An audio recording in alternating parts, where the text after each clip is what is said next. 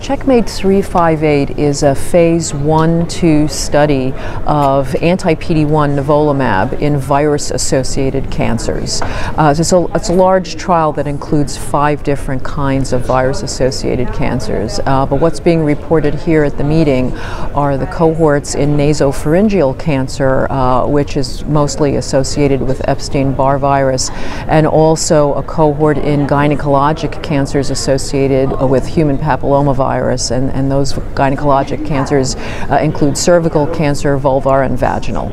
Uh, so these are uh, two separate presentations here. Um, uh, both of those cohorts included 24 patients. Uh, there were some patients in each cohort who had not received any other treatment for their metastatic cancer. those were about a quarter of the patients in both cohorts, but the majority of the patients had had one or two other treatments and had not responded to those so mostly chemotherapy.